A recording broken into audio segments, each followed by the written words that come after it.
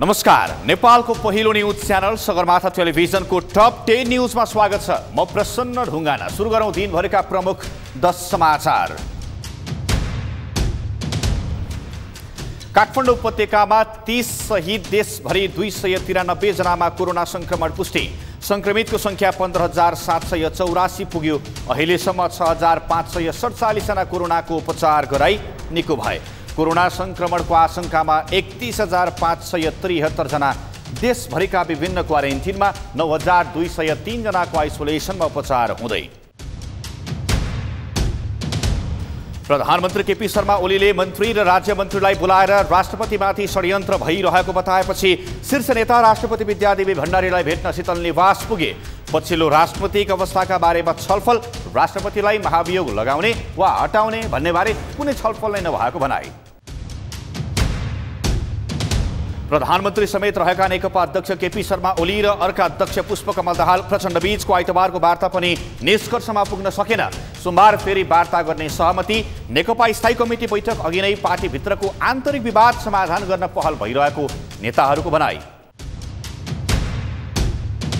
विदेशमा अलपत्र नेपालीको उद्धार गर्ने क्रम जारी चार्टर्ड विमानबाट उद्धार गरिँदै विदेशबाट उद्धार गरी ल्याइएका व्यक्तिलाई सवारी भाडा दरमा ठगी गरिएको यातायात व्यवसायको आरोप। यात्रु सङ्घ लिएको भाडा दरको विवरण उपलब्ध गराउन माग। संवैधानिक आयोग गठनको लामो समय बित्दा पनि पदाधिकारी चयन भएन। बजेटको व्यवस्थापन नहुँदा कार्य सम्पादनमा समस्या पर्याप्त स्रोत साधनको व्यवस्था गर्न सदस्यहरूको माग। आयोगलाई थप व्यवस्थित बनाउन सुझाव। सुदूरपश्चिम प्रदेशमा बजेट सम्बन्धी विधेयक प्रदेश सभामा टेबुल प्रतिपक्षी दल कङ्ग्रेस र राजपाको विरोधले बिस दिनपछि मात्रै प्रदेश सभामा छलफल प्रतिपक्षीको माग सम्बोधन नै नगरिएको गुनासो अवरोधकै बीच सभामुखले विधेयक टेबुल गरेर संसदीय अभ्यासको खिल्ली उडाएको आरोप उदयपुर गाईघाटमा निर्माणाधीन सुविधा सम्पन्न सभाल निर्माणको काम अन्तिम चरणमा। नब्बे प्रतिशत काम सकियो। झापाको मेचीनगर नगरपालिकामा गरिएको कालोपत्रे सडक तोकिएको मापदण्ड विपरीत गुणस्तरहीन। कालोपत्रे गरेको एक महिना नबित्दै उकियो।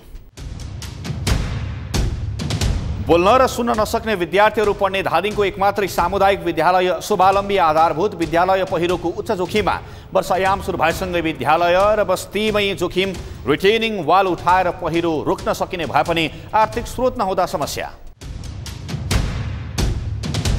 विश्वमा कोरोना भाइरस सङ्क्रमणबाट ज्यान गुमाउनेको सङ्ख्या पाँच लाख चौतिस हजार नाग्यो। एक करोड चौध लाख एघार हजार पाँच सय बढी सङ्क्रमित चौसठी लाख एकसठी हजार बढी उपचार गरी फर्किए। कोरोनाको सङ्क्रमण सबैभन्दा धेरै अमेरिकामा। र जर्मन कप फुटबलको उपाधि बार्न म्युनिकले जित्यो। फाइनल खेलमा बार्न म्युनिकले बार लेभरको सेनलाई चार दुई गोल अन्तरले हरायो।